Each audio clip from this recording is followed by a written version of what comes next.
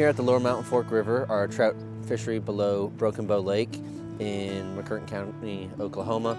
Um, we're going out uh, to look at some brown trout. Uh, primarily, we'll also probably see some rainbows out there. They feed pretty good in the evening and at dusk, a little bit more active. So that's a really good time for us to go out and see them. Because it's a put-take fishery, we don't really do too many like sampling activities on this stretch of river.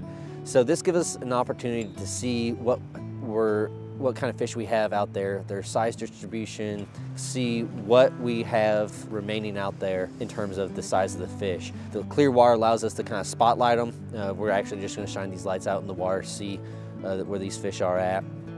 Try and get some video of them. From there, we can kind of um, make a composite of what sizes we see, knowing whether or not we have some older fish, some potential state records out there. Right, yeah, you got them. Yeah, no, I saw a streak of red. He went right under that, didn't he?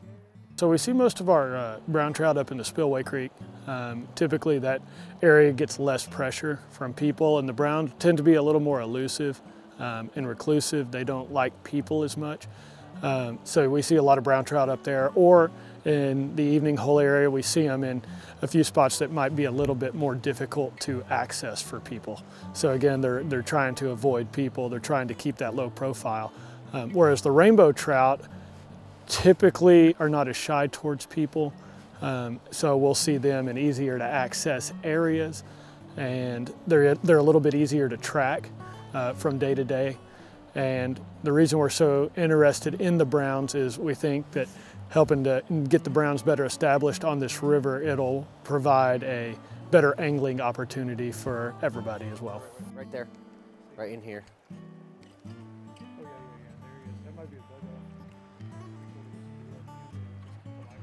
Yeah.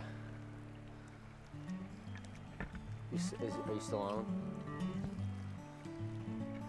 I'm out here helping you guys out tonight, uh, helping locate some browns at night, seeing their nocturnal patterns and activities, um, as well as some rainbow trout as well, just trying to get an idea of uh, how these fish are doing on the lower mountain fork and ways that we can help the river continue to thrive.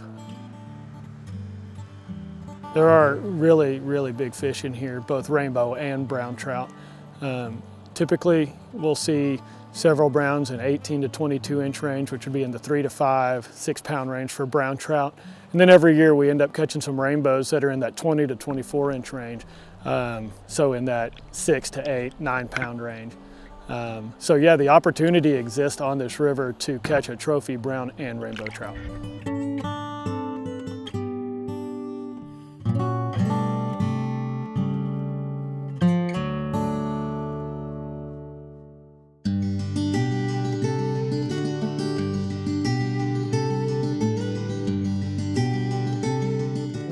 One of two designated year-round trout fisheries in the entire state of Oklahoma, as well as the only trout fishery in the state of Oklahoma that has um, successful natural reproduction of the trout in the river. Um, so it's not just stock trout. Yes, it, the uh, ODWC does a great job of stocking it, um, but it is a true year-round trout stream. And for people that love to vacation out west um, or back east, where they go and, and catch their favorite types of trout, they don't have to travel in upwards of 10 hours to get that mountain experience and that mountain stream experience. Um, so the amount of anglers this brings in from all the big metropolitan areas, uh, really is a huge boost to the tourism industry in Oklahoma. Uh, saw some nice bigger rainbows, uh, saw some brown trout.